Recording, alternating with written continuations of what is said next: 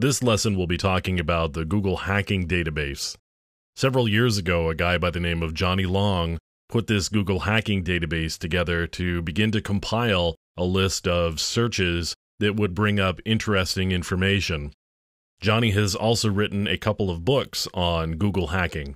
So we're at the Google Hacking Database website here, and you can see them talk about Google Dorks, and there is a list here of the latest Google hacking entries, and they also have a number of categories that you can look through to find some specific things that you may be interested in. Of course, you can also search specific information that you may be looking for with regards to a specific product, for example.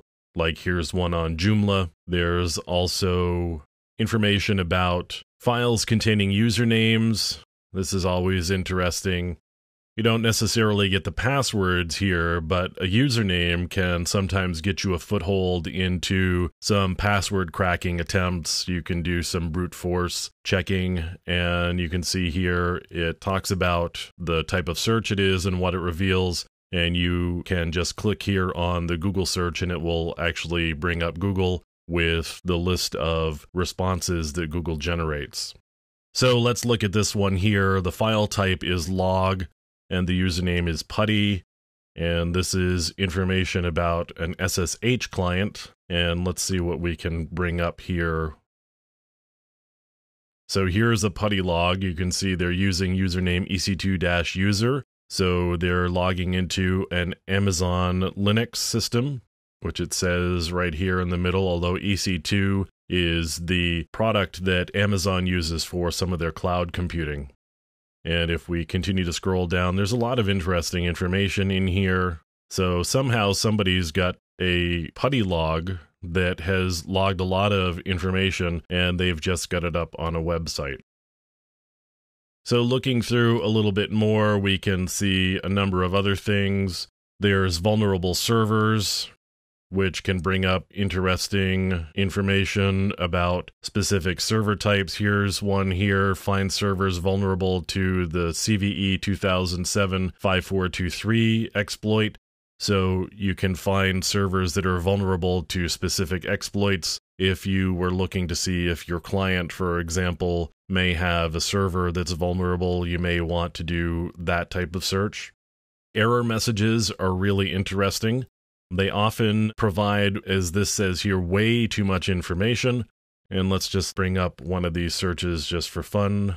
We're going to look for some PHP data. And as we've mentioned before, sometimes you're not going to always get everything that's a hit. Sometimes it requires a little bit more.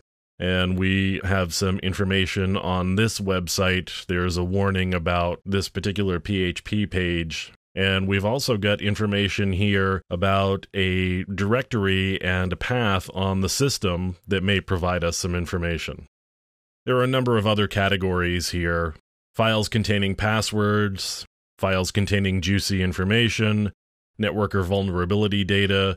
Various online devices are interesting because you may end up being able to find things like cameras, or in this case, here's a Beyond TV you can get surveillance video, more or less what this one here is Spectra IV IP.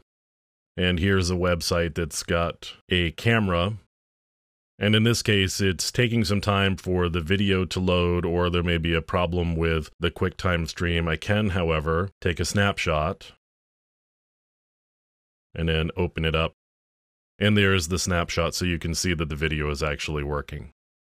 So, a number of categories that they've classified things into advisories and vulnerabilities, pages containing login portals. But what this really has is a list of queries that you may be able to use as you're going through a penetration test. So, the Google Hacking Database, definitely a website to put into your bookmarks and check in with on a regular basis as you're working with your clients and doing ethical hacking and penetration testing.